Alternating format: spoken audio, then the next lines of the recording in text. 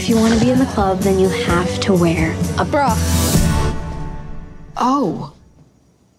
You, you think you need one?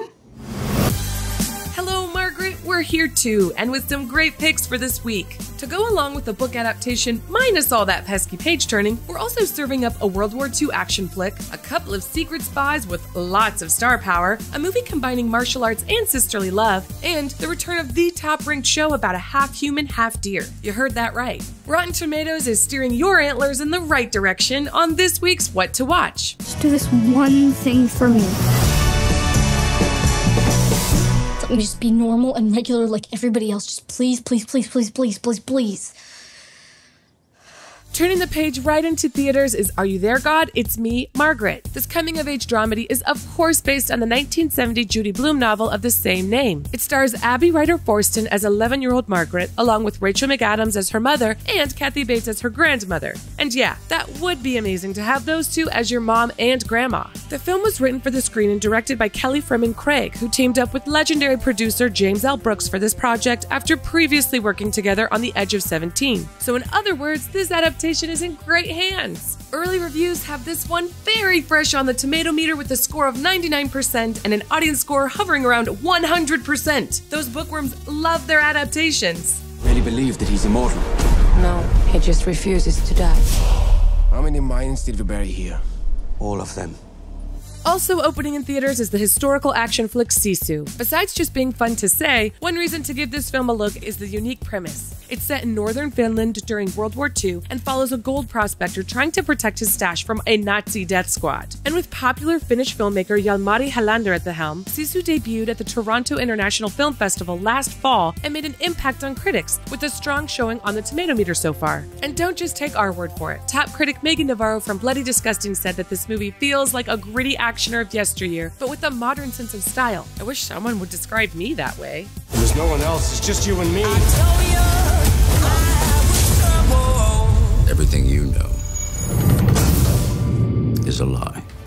Premiering on Amazon Prime Video is the mystery thriller series Citadel. Now, the first reason to check out this show is a two parter Richard Madden and Priyanka Chopra Jonas. I know, right? They play a couple of elite spies who are reactivated to pretty much save the world, as elite spies tend to do. Shout out to all my spy friends that I may or may not have. Another strong resume builder for Citadel is that it was created by David Weil, who also did the Amazon show Hunters, and it was produced by brothers Joe and Anthony Russo of Marvel fame. Plus, season 2 has already gotten the green light, so it's okay to fully commit to this one. I know that can be hard for some of you. And while you're watching, it's cool to know that this series will include spin offs in different languages and set in different countries. They're going global, baby! I found something.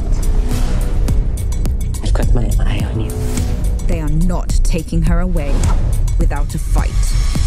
Finding its manners on its way into theaters is the action comedy Polite Society. This film focuses on two British Pakistani sisters. One is a martial artist in training who tries to save the other from her impending marriage by way of an ambitious wedding heist. Gotta love sisters. It was written and directed by Nida Manzoor in her feature film directorial debut after turning heads with the award winning British sitcom We Are Lady Parts. Polite Society is certified fresh at 93% on the tomato meter after premiering at the Sundance Film Festival earlier this year, with critics using words like fresh and a delight to describe it. So you know it's gotta be good. Just a matter of time before the whole world learns habits are key to the cure. And when that happens, everyone will want a piece of you.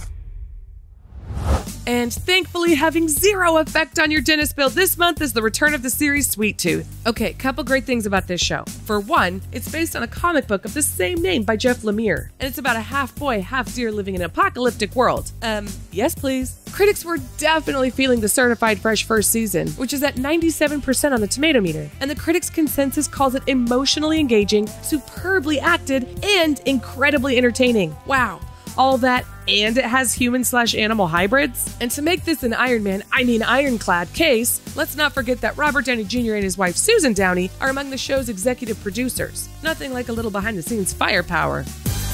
There you go. Another great list of what to watch this week. And the cool thing is, while it does have something for everybody, you'll love it all. Says a lot about you. And be sure to let us all know in the comments what you did check out, whether it was on this list or not. Remember to check out RottenTomatoes.com for the latest updates on scores and reviews for everything mentioned, as well as the movie and TV world at large. And don't forget to stop by the new RT25 page, where we're celebrating 25 years of Rotten Tomatoes. And while you're there, you'll probably notice that we have a brand new card game, putting your mind to the test on 25 years of Tomato Meter scores. Get five now You'll have B Day gifts for the rest of the year and one for yourself. You're welcome. That's all for today, Fresh Family. Until next week, stay fresh.